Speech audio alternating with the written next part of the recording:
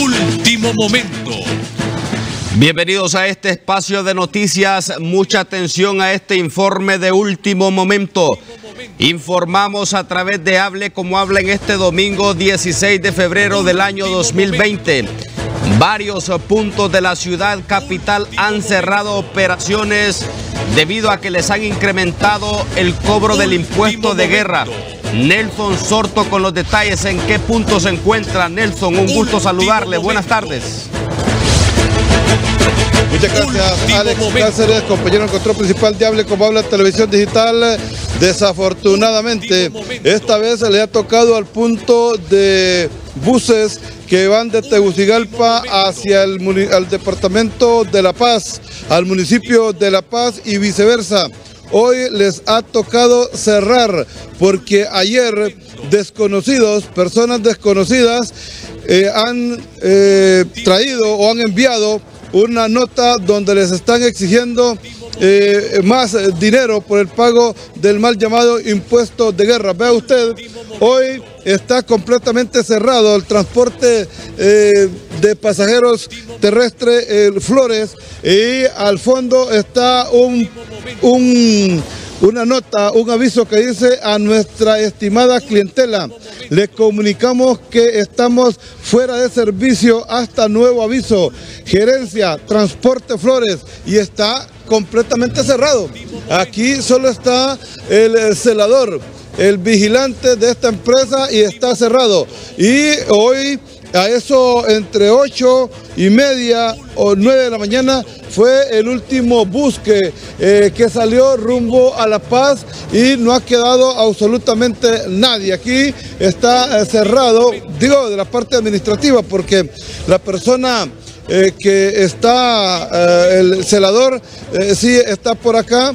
Em, el vigilante sí está acá eh, de transporte eh, de flores aquí en Comayagüela. Estamos ubicando, ubicados, estamos ubicados en el barrio Concepción, en la séptima avenida. Eh, aquí estamos ubicados en esta, en esta zona y desafortunadamente pues hoy le ha tocado a esta empresa de transporte terrestre eh, cerrar operaciones, cerrar momentáneamente operaciones mientras se regulariza la situación o llegan a un acuerdo eh, para si siguen pagando o pagan lo que les están exigiendo según una notificación que les han traído. Mucho gusto, paz por ahí. Mi amigo, lastimosamente lo que está pasando con estas empresas de transporte terrestre?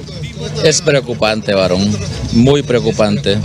Solamente eso le puedo decir, muy preocupante. ¿Ya no se puede trabajar? Ya no, está bien difícil la situación.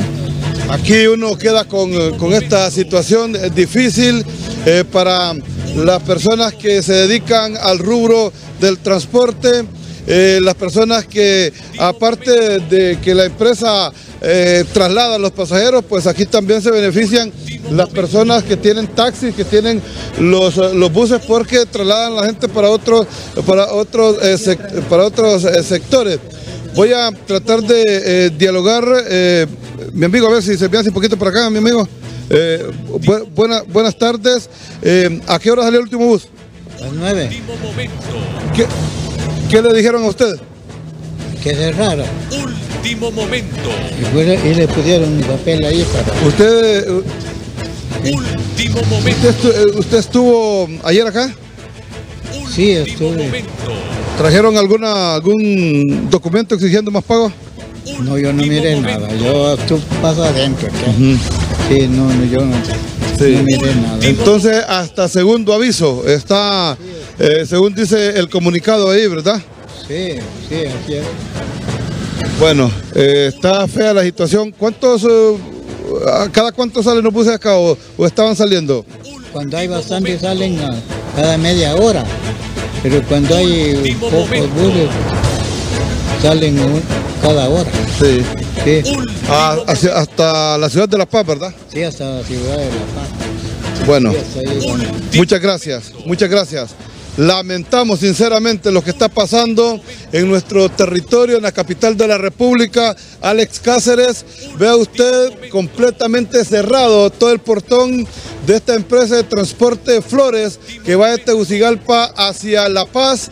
Al fondo ustedes pueden apreciar el rótulo donde se le comunica a toda la clientela que por motivos, bueno, por... Eh, eh, que les comunican que están fuera de servicio hasta eh, un segundo aviso.